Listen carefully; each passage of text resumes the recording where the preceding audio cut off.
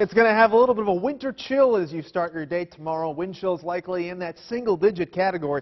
So if you're headed out and about, bundle up. And we're already seeing a little bit of that cool air in the mix right now out there. Mid-teens is our feels like temperature. And we haven't seen that much sunshine out there today, so that's helped to make things feel quite a bit cooler. Here's a look at downtown Des Moines this afternoon.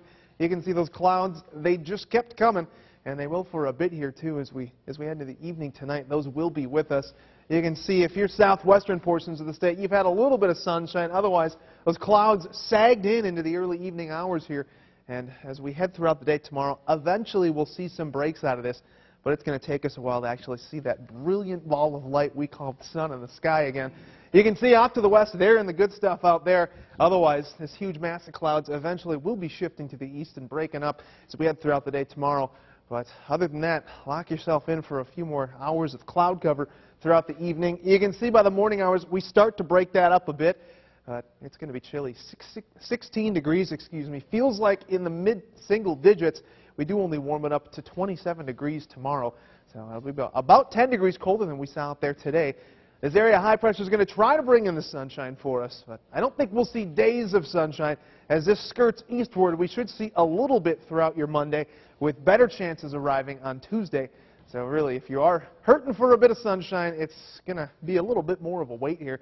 Futurecast tries to clear out western portions of the state throughout the evening tonight, but notice the resurgence of the clouds as we head through the noon hour tomorrow, pushing that line back to the west.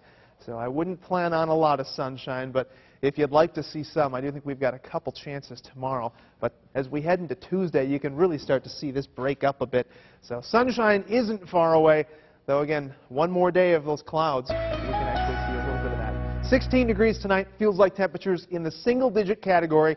We see those winds switch from out of the northwest throughout the day tomorrow to out of the southeast, and that's going to help us to warm up for our Tuesday, but we only notch up to 27 degrees tomorrow with that breeze out of the northwest. Feels like temperatures throughout the day likely in the upper teens to low 20s, so uh, keep that coat handy as you head out and about. Low 20s to the north. You can see some of that sun trying to work its way in from the west. Otherwise, we're partly to mostly cloudy, at least through the afternoon hours. But we do break that up a bit here. 35 with that sunshine on Tuesday. We're back into the 40s Wednesday, and we stay right around there both Thursday and Friday. Problem is, we bring in chances for a wintry mix Thursday and Friday, and then after that, we take quite the tumble back down to 22 degrees for your high on Monday.